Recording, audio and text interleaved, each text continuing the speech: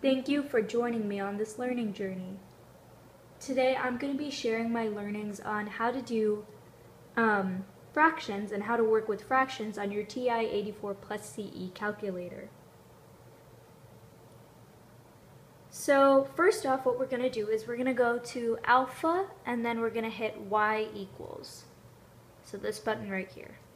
And what it does is it pulls up this menu and this is where you'll find all the different functions you can do with fractions on this menu. So what we're going to go and ahead and do first is click 1 and it pulls up a little template for us as you can see here. Um, and we're going to plug in a random fraction. I'm going to go 6 over 8. And when we click enter,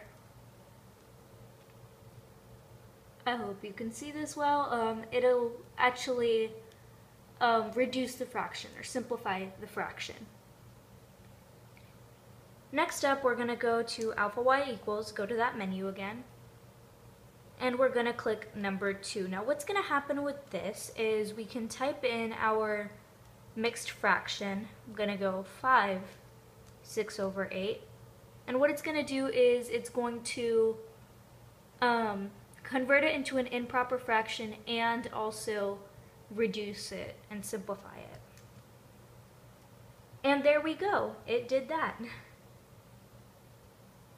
What we're gonna do next is we're gonna, so here, I again, I hope you guys can see this. Okay, we are gonna go ahead and go alpha y equals 3. Oops, alpha y equals 3. And that's gonna convert or we should type some number in here first. Um, or you know what, let's just go with our answer. So if we, if we don't specify a number, it automatically does the answer um, of the previous equation.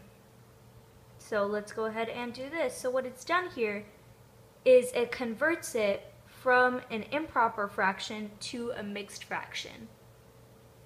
Um, and it did just that alpha y equals 4 will convert a fraction to a decimal. So it's going to convert this fraction right here to a decimal. And there we go. So it converted the fraction 5 3 over 4 to 5.75. So that's how the different fraction functions um, really work on your TI-84 plus CE graphing calculator.